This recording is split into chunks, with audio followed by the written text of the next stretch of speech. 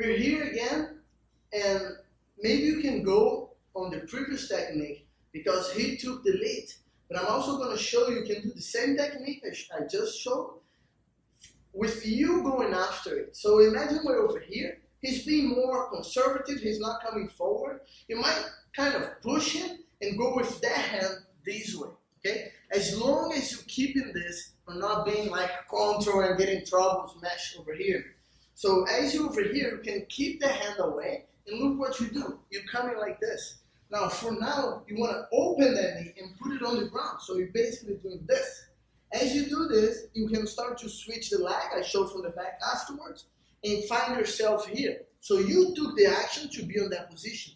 It's a position that you would think you might be in trouble because you're in the third position, the guy's on top, but you have good control. You can do that one. In case he open up, you can force your way to the other one. And as a third option, if you're trying to do this and he completely opens himself and post, because if he doesn't post, I will do it.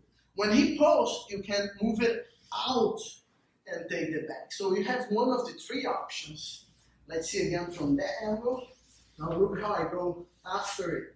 I'm pushing and I'm going like this. See, as I open now, that foot's gonna start to come and take place on this one. Often I do this, boom, just to catch it here.